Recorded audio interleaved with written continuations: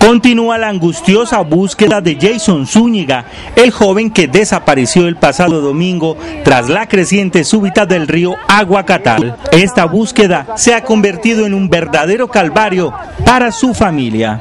Pero la desesperación de nosotros es que no a mi hermano no, no lo hemos podido encontrar.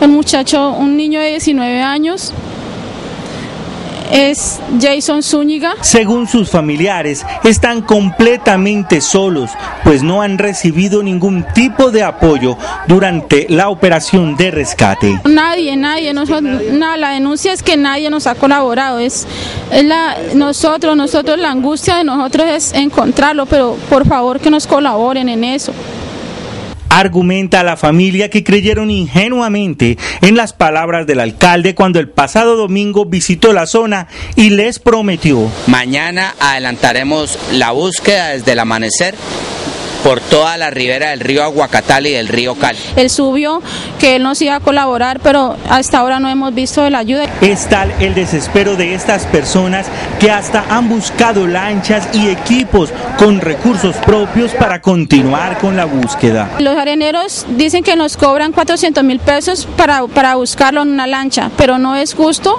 que eso que eso nos pase a nosotros, sino que por favor les pedimos que nos colaboren, la defensa civil, los bomberos, la Cruz Roja, que por favor nos ayuden. La familia de Jason angustiosamente quiere encontrarlo con un solo objetivo. La desesperación de nosotros los familiares es encontrar a mi hermano y darle cristiana sepultura, porque es que no, no podemos dejarlo en un río que se lo coman los animales, por favor que nos colaboren.